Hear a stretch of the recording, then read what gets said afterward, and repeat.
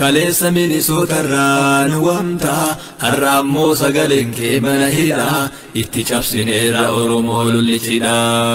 kaleessa milisootarraa nu waamta jawweeko har'a ammoo sagaleen kee mana hidhaa itti cabsineera oromoo lullichidha. alagaan booree malee silaawaa tola fedha.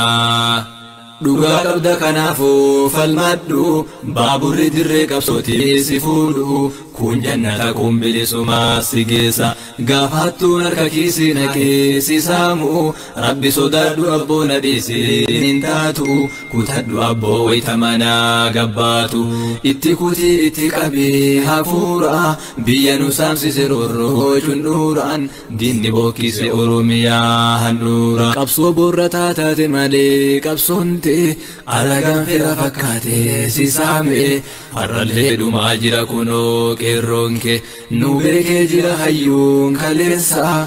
kun jiifannoo miti boolla ofii deeqootaarraa jedheeti morme gaafa lammaan dabarsee kennu carraa.